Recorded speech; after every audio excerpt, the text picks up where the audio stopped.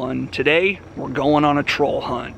What we're about to see up here is a massive sculpture of a troll. Now it was built by an artist named Thomas Dambo. He's from Denmark and he's been traveling across the United States right now building these massive sculptures of these troll creatures. Um, he's using all recycled materials and he's doing it to promote a message of conservation and recycling. And he leaves them in these remote areas for people to find. And I heard there's one here in New Jersey and I had to go and check it out.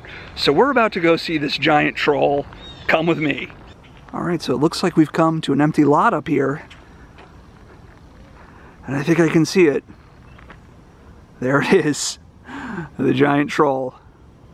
Let's go take a closer look.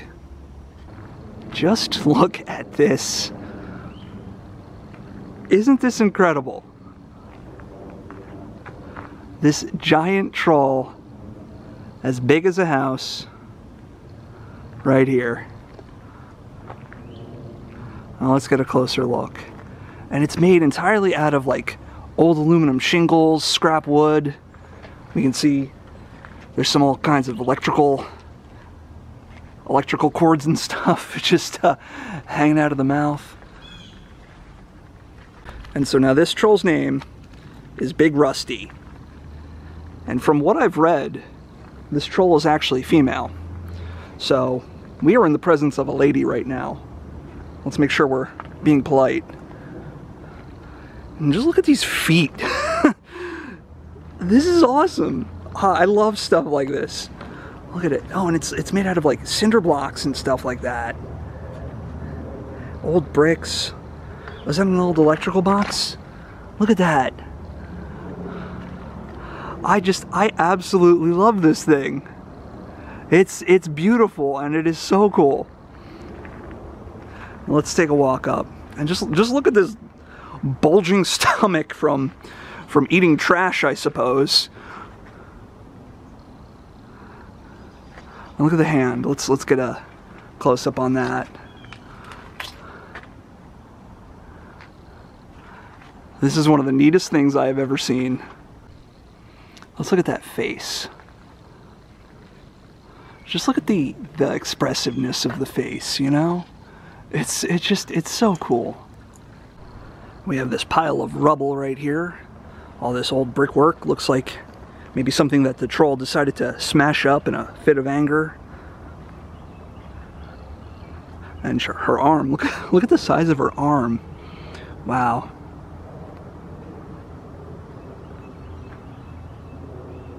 Let's just do a little walk around here. Let's go to the back side of the troll, which seems like a really bad idea, but we're gonna do it anyway. Just look at all these different layers of just old wooden, old scrap wood and shingles and things like that.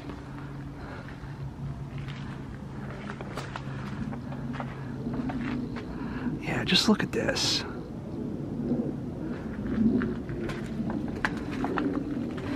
Got like old speakers and stuff down there. And here we are passing beneath the troll's armpit. Again, seems like a pretty bad idea, but you know, I'm, I'm full of bad ideas.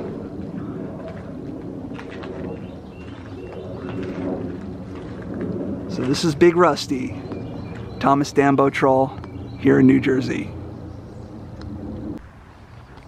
Okay, so while we're here, let's go check out this abandoned building. You knew I wouldn't be able to leave without doing that. So I wonder what this was. I don't think this was a house. This must have been some sort of garage or service station or something. Look at this old radiator. Those things will keep you warm in the winter. And just look at these vines coming through. It's always so beautiful when nature starts to reclaim a place like this.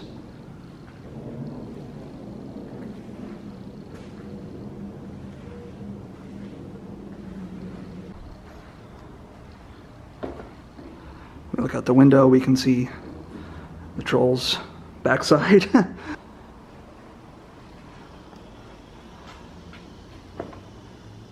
That's really neat.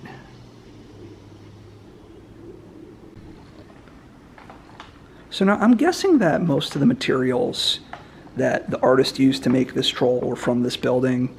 Seems like it would make sense, you know. It looks like it's um, pretty much cleaned out, and you know all the stuff you see on the troll looks like it could have come from a building like this, and it just makes sense to take all the stuff from here and use it.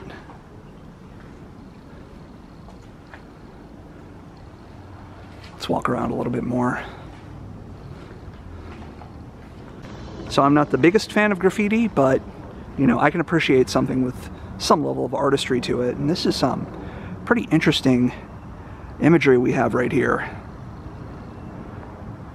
I'll let you form your own conclusions about that. Here we have another halfway decent piece of art here. Uh, guy standing on a bicycle. It's better than just, you know, the crappy graffiti I see generally everywhere else I go. Here you have just a large empty building. Yeah, so this had to have been a garage or some kind of industrial building.